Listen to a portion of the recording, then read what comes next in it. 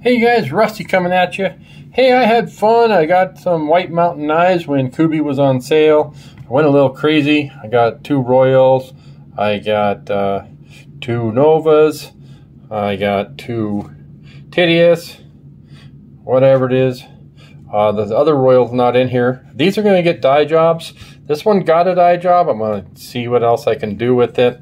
Uh, give it another, maybe another change. But I do have plans for these. I thought I'd maybe dye this yellow and this red, and this being the slips.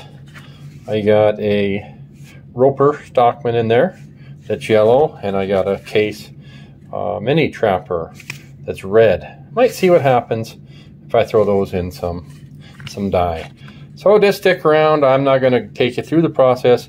I'm just going to maybe show you the final results. Okay, and here we are with the tan. And it didn't turn out like I had hoped, but there's still a chance. So I cleaned up all these parts, uh, just wiped them off with alcohol, and then I'll decide in the morning uh, how I'm going to put these together or if I'm finished.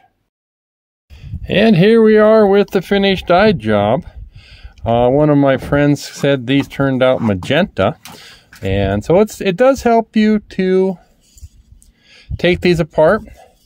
Uh, the action on this was already good. And now, very good. Uh, I will be doing just a short review on all these. Uh, but for starters, ergos are great, except right here, very narrow right there. Um, nice ramp, a little bit thick behind the grind. Oh, the Kubey Nova. Okay, so just so you guys know, I was going for a dark gray and um, something like I got on my Kubey Carve. But it is what it is. Glad to have these. And here's the Titius. Very snappy. You can hear that detent. Action's pretty smooth. It'll break in. So let me know what you guys think. Thanks for joining the miner.